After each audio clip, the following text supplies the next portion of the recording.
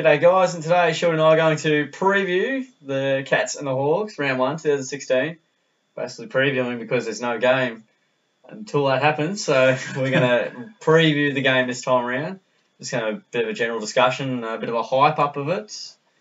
Very excited for it. We're both going to the game and uh, cannot wait for it. And it'll come around before we know it.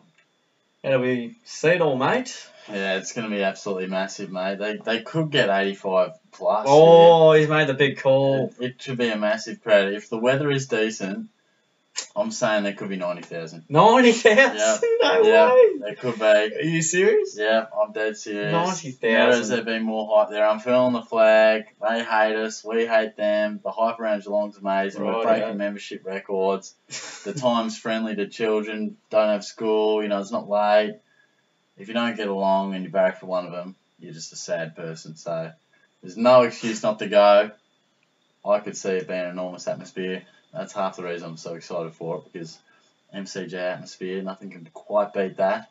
Yeah, yeah. It's going to no, be very good, exciting. But uh, as What- far as actual game, Yeah. Did you have a question for me? Or What about the poor people, mate? Like, they can't afford a membership. Well, Do you, do you call them sad You people? just buy a ticket, mate. You know, Okay. that's what I'm saying. If there's any game you're going to go to, it's this one. Alright. I understand not everyone can buy a So membership. I'll, I'll skip the round this week and you know just live on the street to see the game. It's 25 bucks, mate. It's only 25, alright, get, me- get me on it.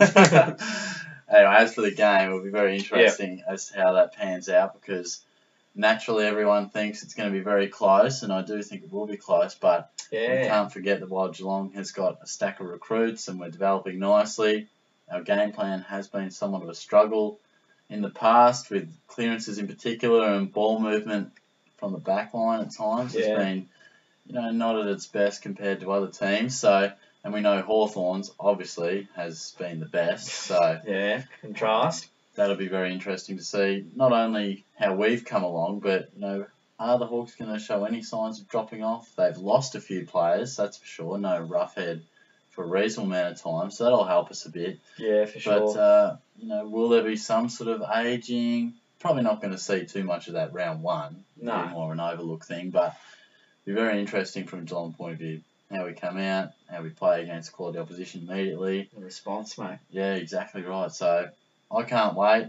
It's going to be great. I'm looking forward to it. Yeah, you've taken the words out of my mouth, mate. Very, very excited.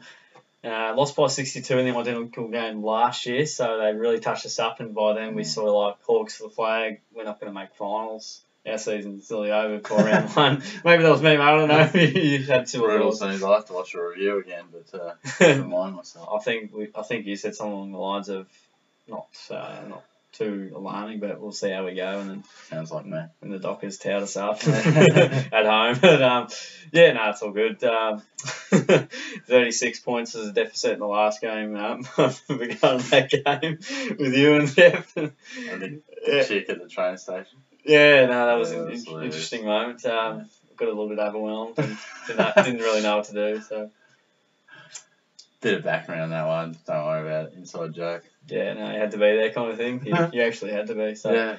Um, no, so pretty disappointing results of late. They've really blown out as uh, we've become worse and Hawthorn have almost become better Mm. uh, naturally. So fingers crossed we can uh, close the gap. And we have to close the gap if we are to be considered a great team for this season. So certainly a lot of work to do, no doubt. A couple of things to uh, look at.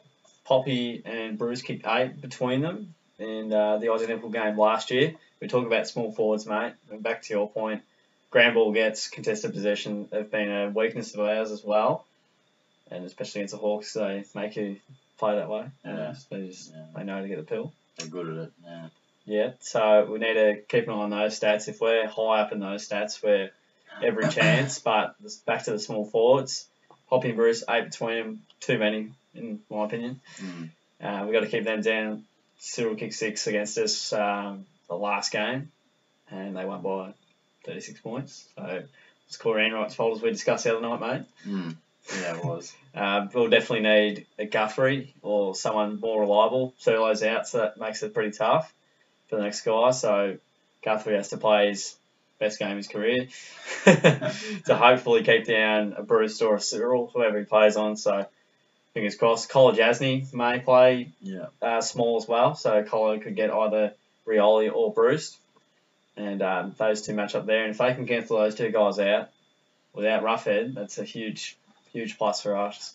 Yeah, no, it's a great point you raised, mate, because a lot of talk is about how tall Geelong are, the land of the Giants, blah, blah, blah, but one of our biggest weaknesses is controlling those small forwards. Yeah, it is. And, yep. uh, yeah, as you said, Thurlow out, so, you know, definitely Guthrie will be there, and Colo, as you said. Maybe But, Bews. um, yeah, exactly. Bews, Ruggles, is Cowan in the frame, you know. yeah, that's true. I didn't think so, of Cowan. uh, a couple of guys who might be forced to perhaps you know fight out of the division at least in round one, but they might get an opportunity. So Yeah. um, we might have a chance to get on top in the ruck as well with Zac Smith playing some good footy. It's something we haven't really had for a while. A real dominant in form and on the park ruckman. So Good to have. that's somewhere we could possibly get in top on. And uh, of course, Tom Hawkins, we just raved him up in the Coleman medal prediction. So he's a guy that, of course, you know, would be hoping to play some really good footy this season. Yeah, for sure. Um, it has always been somewhere we can get in top in the Hawks. So yeah, the big, uh, the big talls, and we'll have plenty of those. yeah, so it'll be intriguing to see how it all molds together, and it'll be intriguing which lineup we go with as well, because Yeah. you wouldn't think Hawkins, Vardy, Smith, Stanley, and all the defenders we have as well could fit in the same side. So that'll be really interesting. Blicavs, if you, I don't think you have him in that category. Yeah, He's a he's such a good runner. So He's but, uh, nearly out of the equation. Stanley, I don't know whether you want to delve into too much, but I think Stanley's the real one for me. That I don't know if he has a spot at the moment. Smith has been so good in Yeah, the he ruck, and basically Stanley's a failed forward and defender. That's why he's at Geelong because he's failed in those positions at, at True, Saints. bang, So, cop that. and he found his place in the ruck. He was dominant against Port Adelaide. Yeah. That's his new role. He's good on the deck. He's a ruckman. All of a sudden, that spot's perhaps been taken. So I'll be intrigued as to see. Vardy looks like he's a second forward to Hawkins. Yeah. So yeah, interesting. I agree with you there, mate. Uh, it's Vardy versus uh, Stanley at the moment, I suppose. I, I just don't see a spot or allowance for another tall Mm. runner. He'd probably only be in this team for injury to a ruck or forward or defender more likely, I think. So Yeah. it'll be uh, yeah very interesting to see what what uh, Port of Call they go for there. So I hope he plays because he's really good value. But oh yeah. but, um, we'll, we'll see how it all pans out. But as you mentioned with the tall forwards, mate, does Gibbo play as a key defender for the Hawks? I think he'll play tighter. Yeah. I think they like to release him a bit as well, though. They do enjoy him running out of the back line. He's quite a good user. So Yeah. Um. Little, perhaps Lith- yeah. Litherland's the Yeah. only other one I can I think of, and uh, Frawley, Mm. who probably play Hawkins. Yeah, yeah, no, I think so. So, because Schoenmakers will be playing forward, won't he? He won't want to be playing Hawkins. yeah, that's Absolutely. He's earmarked uh, as a forward at the moment, and with Roughead out, definitely will Yeah, ninety percent play forward. So So I guess that's why Hawkins is a, a real chance. He's got a hold of him in the past, and yep, you know, on paper, is a good opportunity to do it as well. Definitely. again, I should say. So yeah, that's all right. Uh, final margin, mate. yeah, I've You, tipped. you, I think uh, you said it at the start, maybe, but Yeah, I've tipped the Hawks by four points. So if you want an official tip there, but I do think it could go either way. You can get wound up in the hype of the Cats, but you also got to then get realistic and pay respect to the. I can't The- say the- the back, machine. back to back to back. but you know they're a champion team. They're not going to fall off a cliff anytime soon. Will No. improve. Will it be enough to beat them? It, it'd still be a really good win, as much as we've been the hype team Absolutely. of the preseason. yeah, no, it'd be one of their finest ones. Uh, Hawks by twenty eight for mine. I think they're just a yeah a bit too, bit more accomplished than us. They've got more runs on the board, obviously, over the last however many years, at least the last three years in uh, premierships. So yeah, I think they're a much better team than us, especially in the game plan side of things, which has caught us in the past. And uh, it's been shown the game plan means more than anything at the moment. West Coast lost their backline basically. No, they weren't going to make the eight. They make the grand final. So Mm. if you're a good enough team and you've got a reasonable cattle to uh, have, you have a chance. So yeah.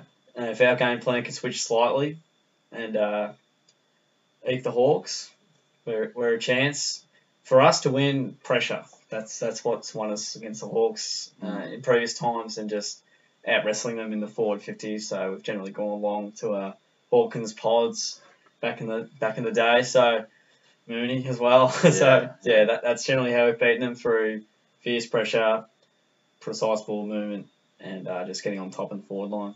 It's a good recipe, mate. I hope to see it on Monday. Me too. that, that's our preview anyway, guys. Uh, feel free to put any thoughts in the comments to see, well, how you reckon the game will pan out. Any sort of matchups or interesting thoughts you have, put them out there. Don't forget to give the video a bit of a like and share it around. And don't forget to subscribe as well because the seasons are coming out every week. Reviews are of the game anyway, not previews. But yeah, yeah get on that. Uh, thanks for sticking around, guys, and we'll see you guys on the next video.